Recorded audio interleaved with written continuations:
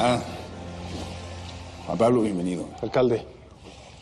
Oye, agradezco mucho que te hayas tomado la molestia de venir hasta acá a estas horas. Lo, lo agradezco mucho, Juan Pablo. Mucho gusto. Soy Horacio Hernández, un amigo muy cercano a tu padre. Siento mucho lo sucedido. ¿Sabe que Mireya murió?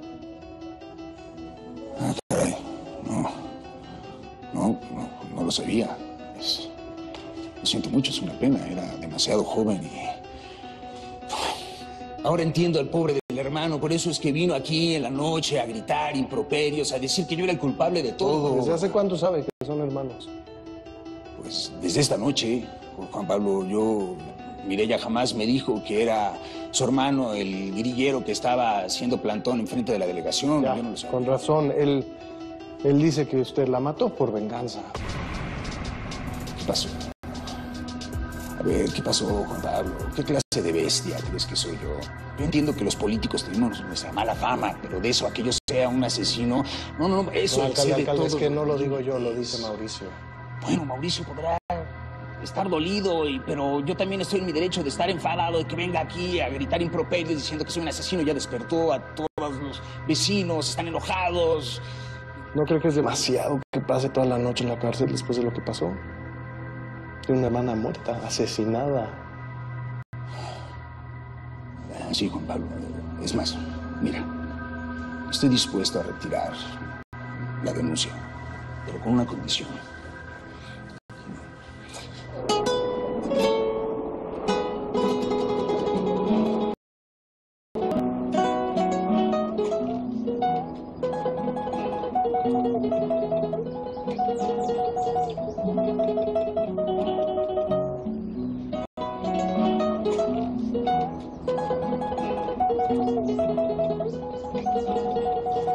Tranquilo, profesor.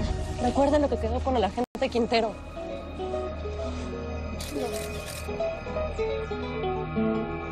No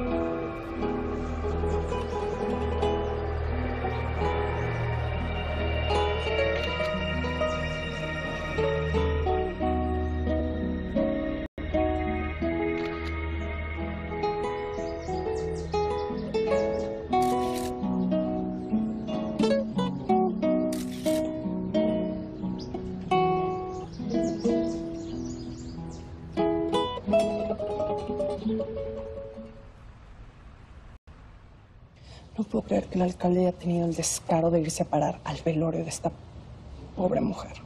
¿Qué tú crees que él mandó a matar a la hermana del profe? Güey, no lo dudaría ni tantito. El punto es que no tenemos pruebas. Pruebas para que quieres pruebas. Vela, no te puedes desenfocar de lo que estás haciendo. No puedo hacer como que no pasa nada. Y Mauricio necesita saber si este güey mandó matar a su hermana. Suficientemente complicado está nuestra misión para que te estés metiendo en esto, Vela, por favor. Penélope, hay gente que necesita respuestas. Ajá, entonces vamos a parar completamente lo que estamos haciendo para dárselas. No vamos a parar nada. Solamente vamos a investigar si mis sospechas son ciertas y seguimos con lo que tenemos que hacer. Ok, Vela. Penélope. Ok, Vela.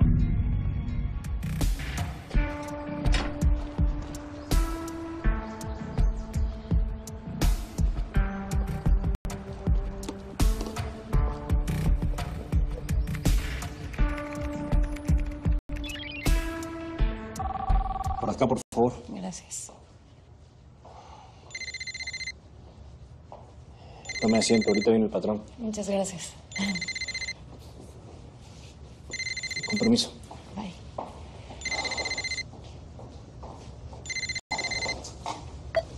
Diga. Hola, buen día. ¿Puedo hablar con el señor de la casa? El señor. Eh, está ocupado, ¿qué se le ofrece? Le hablamos de Telmax y quiero ofrecerle los planes de internet que tenemos en promoción en este momento.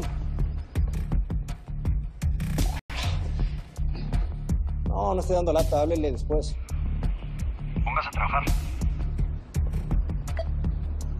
A ver, ¿a quién tenemos aquí? eh? ¿Cómo te llamas? Doris. ¿Se le ofrece algo, señor? Ah, ya vete. Doris, Perdóname, por favor. Vamos a ver. Un segundo.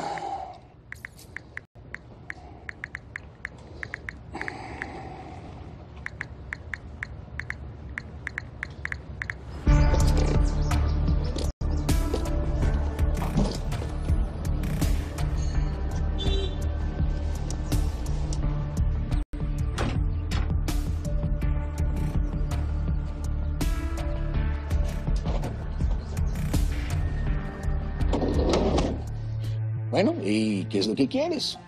¿Quieres un trabajo de planta, de entrada por salida? Bueno, yo he trabajado de entrada por salida. Bueno, pues ni hablar. Estaba buscando a alguien de planta. En otra ocasión será. Gracias. Bueno, pero, pero lo puedo intentar de planta. Creo que me puedo concentrar más y, y dejar los domingos para, para ver a mi familia. Bien. Está bueno. Bueno, eso es todo. Ya te puedes retirar. Ok, con permiso.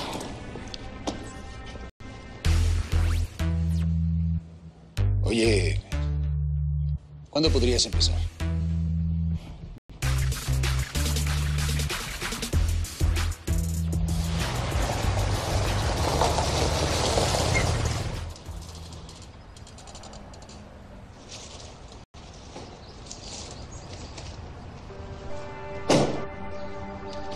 Bonita sorpresa. Bonitas las flores y caminan.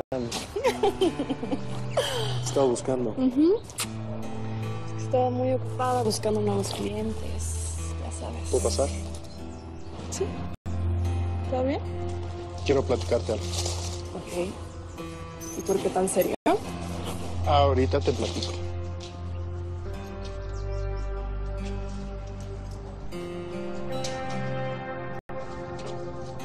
¿Dejo abierto? Sí. ¿Viste en las noticias lo del alcalde Hernández?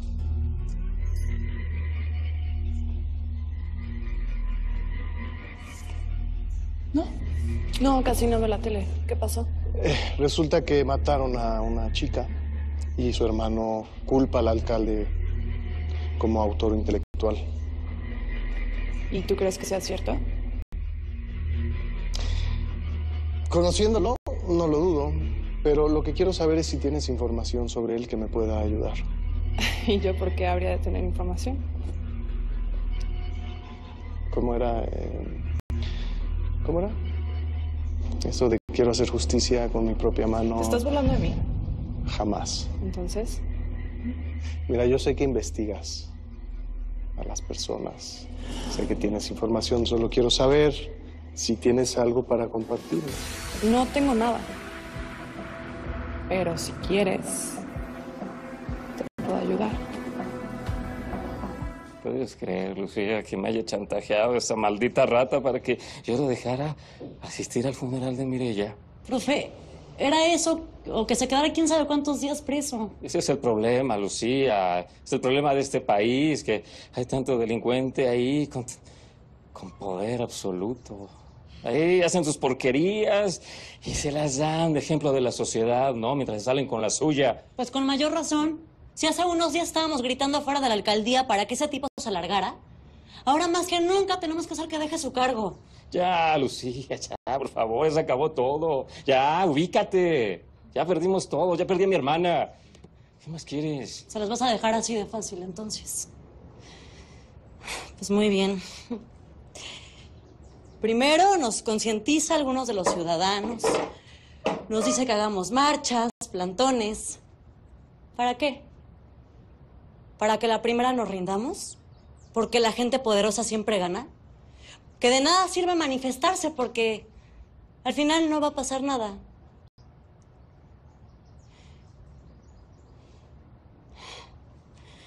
Tienes que seguir peleando por lo que crees. Aunque hazlo por tu hermana, ¿no?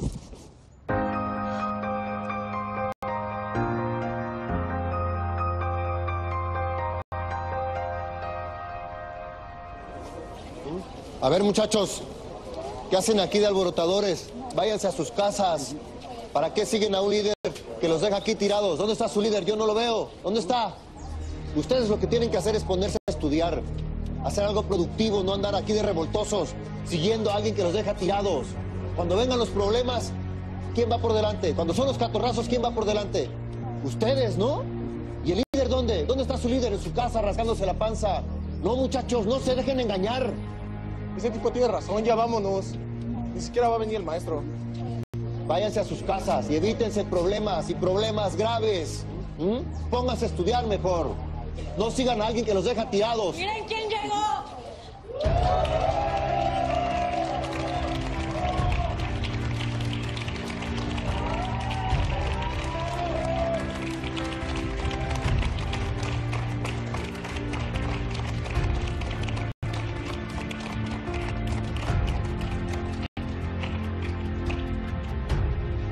Compañeros, gracias. Gracias por estar aquí. Me disculpo por mi ausencia, pero les agradezco en el alma hayan continuado con esta misión, aunque yo no estuviera.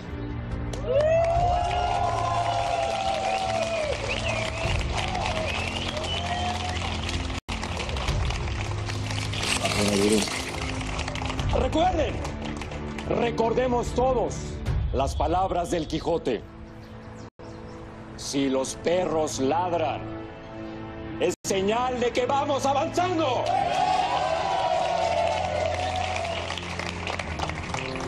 Ese desgraciado que está ahí sentado no se va a salir con la suya. Es por culpa de este plantón. Es por verme aquí todos los días que asesinaron a mi hermana. Pero ya no los vamos a dejar. Compañeros, alcemos la voz. Que nos escuchen. Vamos, vamos.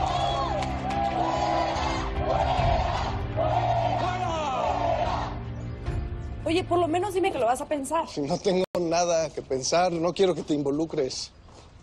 Te juro que te puedo ayudar. Neta. Yo sé que puedes. Solo quería saber si tenías información, no quiero que la consigas para mí. Bueno, si no para ti, para ese chavo que perdió a su hermana. Que no. Ok. Gracias por venir a verme. Puedes hacerlo más seguido. Tú sabes dónde vivo, dónde trabajo. Seguramente sabes muchas más cosas. Con tu investigación, así es que puedes levantar el teléfono y buscarme cuando Yo puedo tener una foto tuya en el celular y verla. ¿Y esa foto qué? Pero te ves bien. Además, ¿para qué te sirve una qué sirve? Es para acordarme. ¿De ¿Qué? ¿Cuál ves? Sí, de, el de aquel. ¿O sabes cuál estuvo buenísimo? ¿Cuál, cuál? Del elevador. Ah, eso estuvo, estuvo bueno. Ese te lo quité ya. Te lo robé, Jesús.